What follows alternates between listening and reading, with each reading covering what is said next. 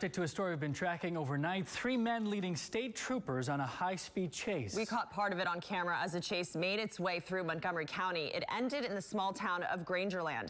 Channel 2's Taisha Walker is live in downtown Houston. Taisha, HPD will now get involved in the investigation.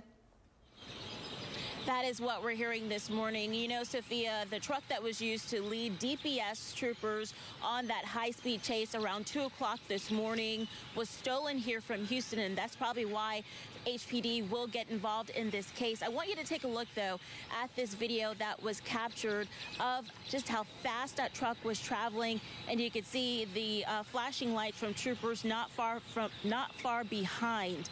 A trooper initially tried to stop that stolen Chevy pickup truck around 2 this morning on I-45 between Willis and Conroe. The truck kept going, though, leading troopers on a 30-minute chase. They say that the truck was traveling as fast as 100 miles per hour. Troopers say the driver eventually crashed into a ditch while trying to turn off of FM 3083 onto Massey Road in Grangerland. Montgomery County, County deputies arrested three men inside and took them all into custody. Troopers telling us that all of those men had warrants out for their arrest. Now, this morning, we're still trying to figure out where that truck was stolen from and from whom.